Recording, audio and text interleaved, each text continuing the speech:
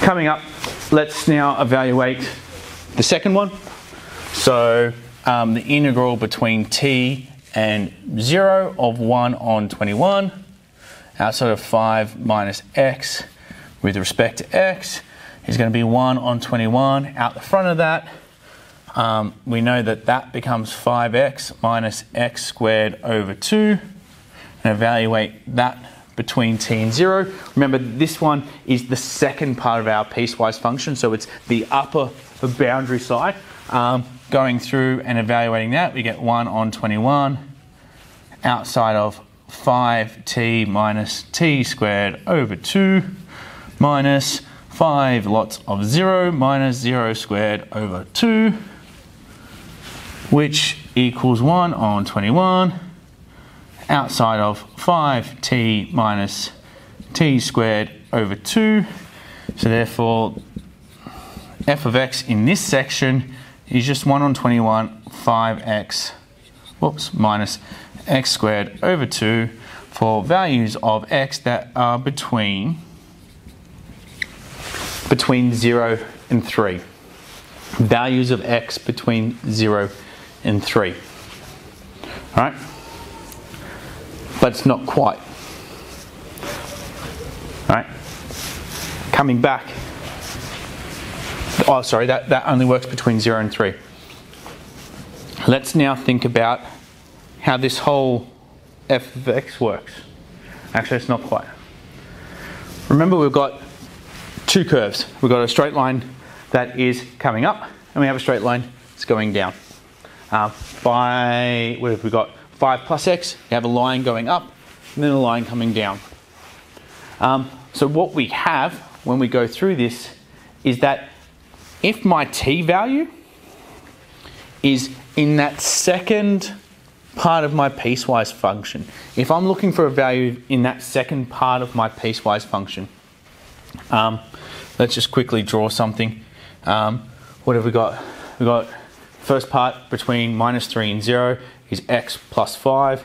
So it's going to be something like this. Um, and then it's going to be something like that. So what we have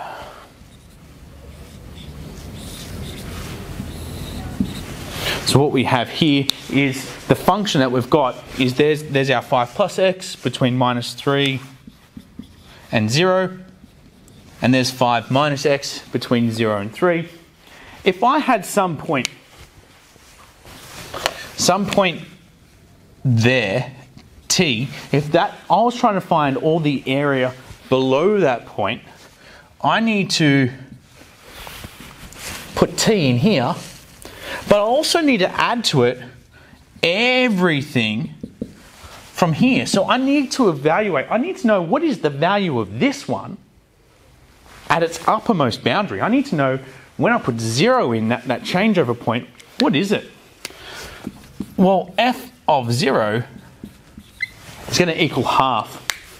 5 times 0, 0. x squared, or 0 squared, 0. So that's all 0. I have 1 on 21 times 21 on 2 and gives me a value of a half. Right?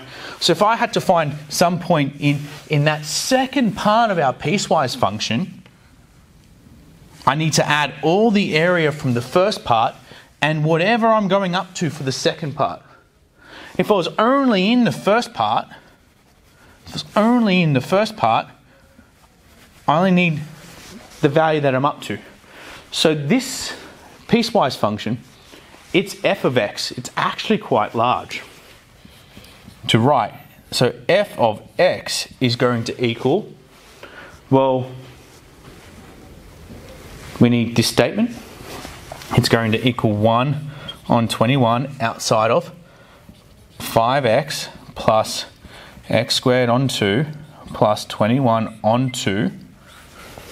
And that's for values of x between minus 3 between minus 3 and 0. It's then going to equal 1 on 20. Oh, hang on, no. It's then going to equal half. Remember, half is the value of, of this up until the point 0, the area up until the point zero is half. So I want everything up until the border, which was half, plus wherever I'm going up to, what my new upper limit it was. And for that one, I'm using this one, 5x minus x squared on 2. And that's for values of x between 0 and 3. Um, it is 0 for values, let me rub this part out now. It was 0 for values of x that were less than minus 3, and it's going to be 1 for values of x that were greater than 3. All right, so we're just pausing. All right, guys, so summarizing this. Originally, we're given the probability density function that had two parts to it. For between minus 3 and 0, it was the straight line 5 plus x.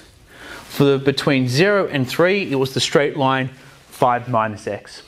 And all the area underneath that, or 1 on 21 outside, I'm sorry, all the area underneath that was how we could then go through and find our, our probability density function. Our, our cumulative density function required us adding all of this area together. When we add all of this area together, remember it's from some upper boundary all the way down to its lower boundary. So I need to be able to come up with an expression that if that point there was my upper boundary, how do I, how do I calculate all this area here? And how I calculate that area there is, well, that's only in the first part of our piecewise function. So I integrate only this first part. Now I integrate only that first part between my lower boundary of minus 3 and the upper boundary of t, and I come up with the expression 1 on 21 outside of 5x plus x squared on 2 plus 21 on 2. And that's how, using that expression there, I can find all the area in that first section.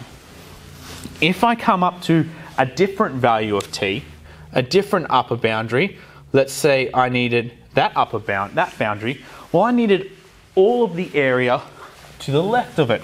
So I needed all of this. I need to find all of that area. And we can see all of that area was everything from the first function our first part of our piecewise, plus some part, small part of the second. Well, I need everything from here, so my upper boundary became zero.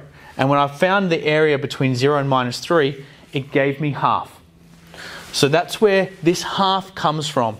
It's all of the area of this function plus whatever extra little bit I need to, to get me to my upper boundary.